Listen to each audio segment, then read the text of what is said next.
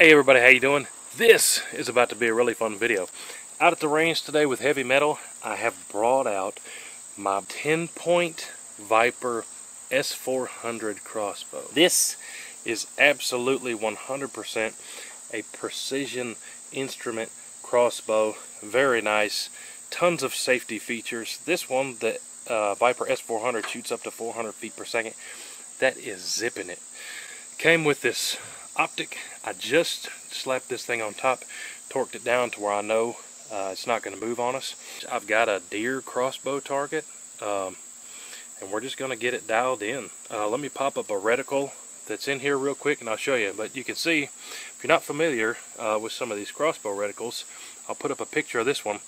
I'm going to sight it in for the top dot to be at 20 yards dead on, and then it'll go down from there, 30, 40, 50. Um, you guys get the gist. But definitely going to be using this for whitetail season here in Tennessee. Uh, you're allowed to use crossbows, have been able to for um, quite a few years now. That's what this video is going to be. Our first time at the range, just taking our time, showing you how it works, and getting it sighted in, dialed in perfect. So when we take it out in the deer woods, we'll be ready to go. Let's uh, get up here to the bench, crank it up, and uh, fling an arrow with it. See how much adjusting we got to do right off the bat. Shouldn't be too much, I don't think. I got to say this real quick, just so you guys know. Back in the day when I first started bow hunting, we used a bale of hay as our target. Five dollars at the store, the, the bale of straw, square bale. Uh, this stuff these days, you cannot do that. It's so fast, it'll zip right through a bale of hay you put three or four bales of hay, well then you're to lose your arrow. Uh, but let me show you the crossbow target I bought for us today. Uh, had to have a crossbow target. I went down to the store and bought this thing. Uh, I just put it together, you can see right here. To tell you the truth, I think this was way too expensive. But if you look, that's just what they go for. I paid 120 beans to have a fake deer target. I figured they'd be like 50 bucks, but now they're all expensive. I figure, well, might as well get a deer target. Uh, but I'm going to put him back at 20 yards and we're going to send an arrow from a rest and we're going to get it dialed in. I'm going to aim for the heart right there just as our point of reference for when we're dialing in that scope if we need to make some adjustments. I'm going to aim for right there. Alright, so I got my deer set up out here. This is where we normally sight in rifles at 100 yards, but uh, I got my deer in the ground here. I'm going to get my rangefinder out uh, probably do 20 steps and then just get my rangefinder out, verify I'm not at 15 or 25, get close to 20, and then uh, we're gonna take a shot and fling an arrow and see what she's see what she feels like. Triggers on these things better than uh, quite a few rifle triggers I've shot. So these are very very nice crossbows. But let me go get my rangefinder. All right, so you can see my deer is right there. I took 20 steps my rangefinder says that that's 31 yards so I went back and took 20 smaller steps and I'm pretty much at the same spot so I don't think my rangefinder is working very well at closer ranges but I think this is pretty close to 20 yards. Maybe we'll use this a little bit further and see if it helps us. I might have to get a new rangefinder for deer season uh, if this sucker's not going to work right but 20 paces uh, let me get my rest out here my bog. Uh, really focus on this trigger squeeze, just like when we sight in the bing bangs. And squeeze one off on that deer heart with the 20 yard pin. And we'll make some adjustments from there. Check it out. I'm excited. Alright, so one of the coolest things about this crossbow is some of the safety features and how you load it. I've already got my grabber thing, the string grabber I call it, down here and locked on the cord. Then I'm going to take my handle and watch this. I'm going to start cranking it. And what the book says was that this only takes five pounds of force to crank it, meaning anyone could crank it. Kids, you know, my wife or whatever.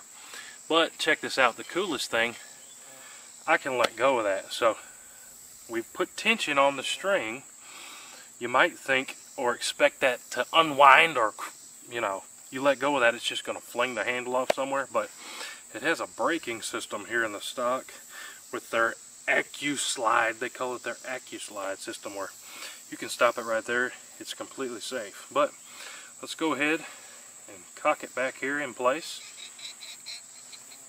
All the way back to the back. Then, once we hear it click, it says right here, back wind crank handle three times after crossbow is fully cocked. So we're going to undo this three times on the handle here. One, two, three. And what that does is takes it out of the bind that we had it in all the way to the back. Then, just like you might expect, we've got a safety button here. Safe is back, fire is frontwards. They've got red paint there to show that frontwards is fire. Then, you're going to take your bolt or arrow, whatever you want to call it, take the opposite color and put that opposite color down into the path here and then you're gonna make sure it's all the way back with that nock all the way back up against here. Then we're ready to go once we take it off a safe and fling this arrow down range. But let's get set up on this deer take our first shot and see about if we need to adjust the scope and how much. Should be pretty cool. But that's how you um, bring this string back. If you're familiar with crossbows, um, then you would know, you know, my first crossbow, I should have brought it out here today, I could cock it by just putting the stock in my chest and pulling the string back with my hand. Uh, modern crossbows, you can't do that anymore. This is what they call their AccuSlide system. You just saw me crank it there. It's super easy. It's super safe. I'm not worried about knocking my teeth out or or anything like that. Um, safe is key. Absolutely love it. But that's way too much yapping. We're out here to sight this thing in, so let's get set up on this deer. Turn the other camera on. See where we hit on that heart. I'm going to aim square for the heart. Reason I got this on my tripod, so I can take me out of the equation. Just really focus on that trigger squeeze and make sure that I'm sending that arrow exactly when I have the uh, the dot right on the heart of that deer. So let's go fling one. All right, so like I said, got this locked in on my bipod here. Really gonna focus on our trigger squeeze. We wanna get this perfect. When it comes to deer hunting, there is no playing around or guessing. I wanna be confident when I squeeze this trigger on a whitetail, it's gonna hit exactly where I want it to. So, look at that top circle here safety off. Grab the bottom rail down here and send it with that top dot.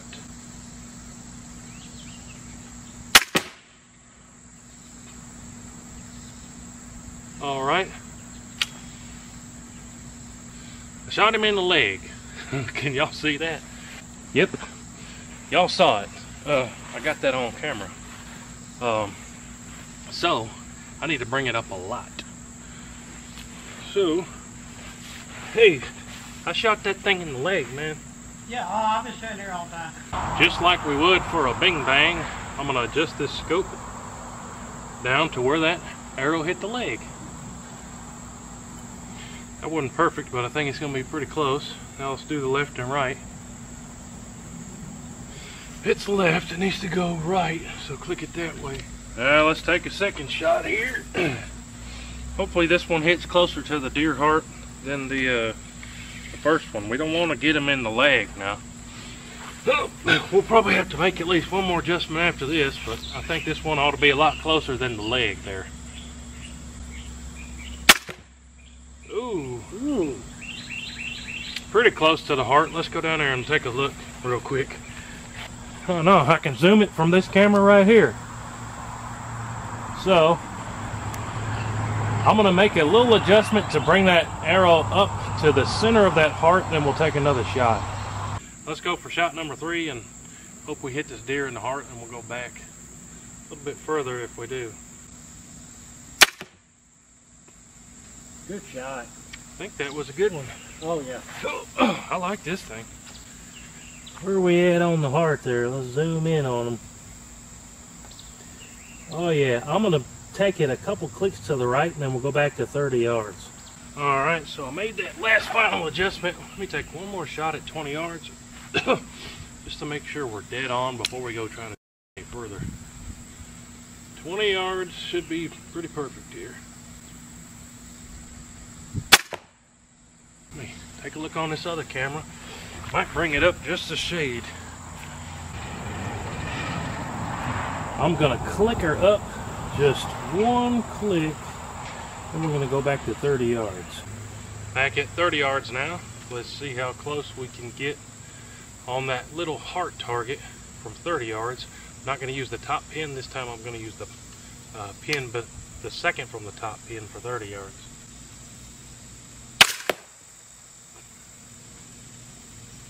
Send another one from 30.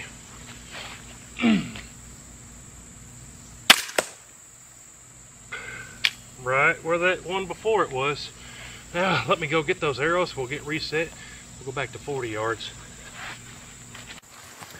So, I'm really impressed with this. I ran down and got the camera so I could show you guys. So, this uh, arrow at the bottom, this one, was my 20 yard shot. And then I just went back to 30 yards and used a different pin. And those were in the shadows here. But those two at the top are my two 30 yard shots. That reticle works, guys. So, pretty cool stuff. Let's take a shot at 40, or two at 40, on those 30 yard ones. Apparently I shot the knockoff of one of those. The shots were so close, but let's take two shots at 40 and see where we hit here. Here we go. Not the top pin, not the one below that, but the third pin from the top for 40 yards. I'm going to hold the center. Uh, I was going to say center of the lung, but let's go ahead and just aim for the heart again. See where we're hitting.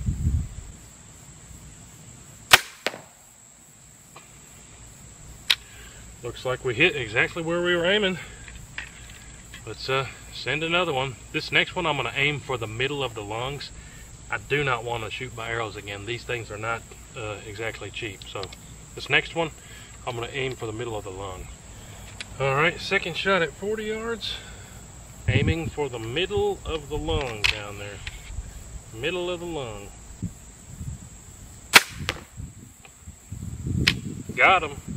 So, even at 40 yards, we're hitting where we're aiming, guys. I'm pretty impressed. Oh, we got all these out. We might as well go to 50. All right now, guys. I'm to send two of them at 50 yards. So, out the top pin, that's 20, then 30, then 40, then 50. We're four pins down in this reticle here. But I'll aim square on for the heart, 50 yards. So far, really impressed with how it's worked out so far.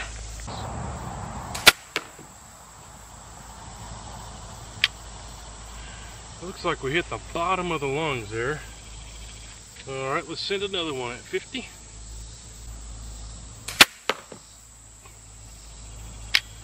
Dead on the heart.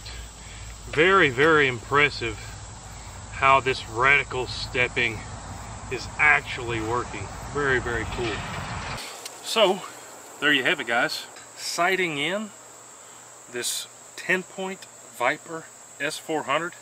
I didn't do a single shot off camera. You guys that know me know that we're a no nonsense channel. What you see is what you get. We don't edit anything out. Uh, that being said, super, super impressed with this thing. Uh, I got that deer target in the leg at first, but um, just like you would anything else, um, a few clickies on the scope at 20 yards, we got it dead on that heart target.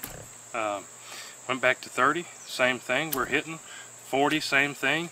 Even back there at 50 yards, um, we're hitting what we're aiming at. So there's definitely something to be said with the reticle in these scopes that comes with it. I gotta tell you, I was a little bit skeptic, skeptical, uh, but the uh, the proof is right there in the video, guys. It works just like it's supposed to. Uh, I dig it.